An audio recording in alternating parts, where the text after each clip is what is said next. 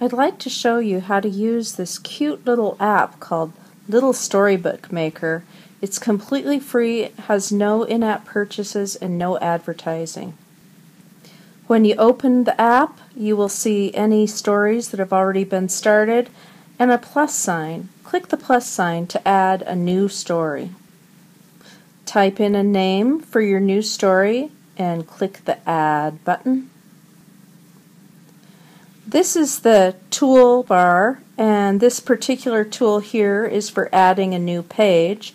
Every time you add a new page to your presentation or story you'll be asked to choose from these nice little backgrounds. I like that they're kind of limited so kids don't get lost in the number of backgrounds. You'll also notice this is a handle. Um, you can slide the handle up or down to get it off the screen, which is handy to keep in mind. To add a photograph or a movie, just click the tool that looks like a camera. You'll be asked if you want to choose from your camera roll or uh, take some live footage of either video or uh, images. I chose something from my camera roll, a picture of the dog. Um, if that is indeed the picture you want, you'll want to click Done.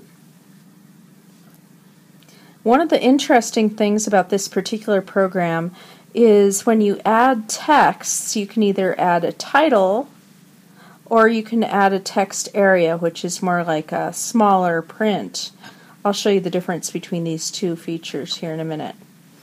I chose add a title you can see it prompts you for the text. There's some changes you can make in the font uh, style, color, um, and then click Done. Now, if I had chosen to add a text area instead of a title, you can see that there's a little bit more room for your for your writing. Um, I did not do any line breaks, as you can see, and that is going to be a problem. Watch this.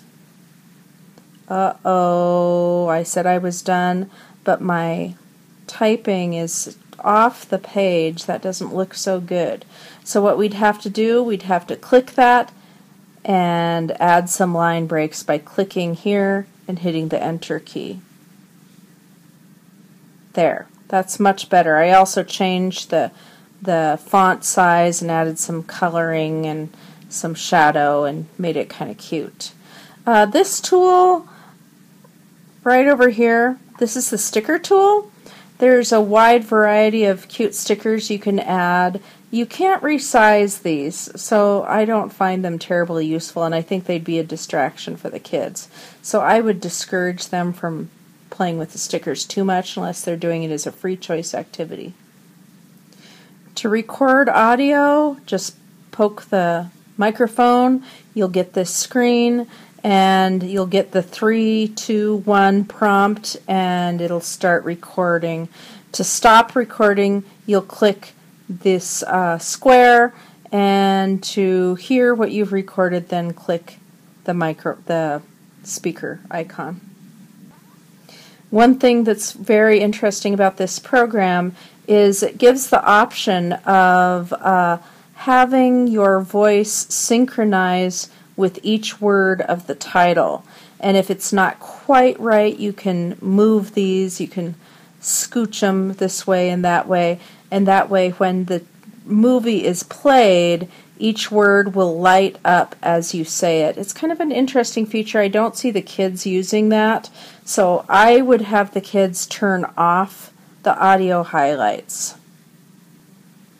You can also draw on your uh, slide, just picking up the crayon will give you a number of colors to use. Here's the eraser tool. When you're done with a page, just click the plus sign and it'll ask you if you want to have a new page or you could duplicate the page, which would be interesting to try to do some uh, Stickman animations with the kids. You could duplicate the page and just have them erase a small part with each slide. It'd be interesting to try that. When you're finished playing around, you'll want to click your home button and it'll say, well, what do you want to do? Do you want to save and exit or do you want to save and share?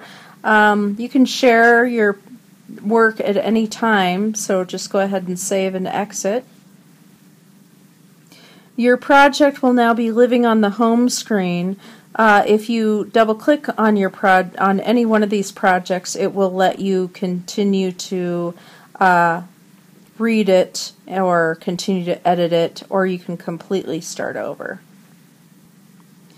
You also can see this uh, little sharing button to send it via email. And in a nutshell, that is Little Story Creator. I think it has lots of possibilities. It reminds me a little bit of uh, PowerPoint for the younger set. It's uh, it's pretty simple to use.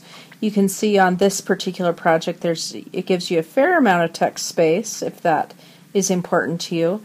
Um, but I like that it's so easy to insert pictures or video. So I hope you give it a try. And thanks for watching.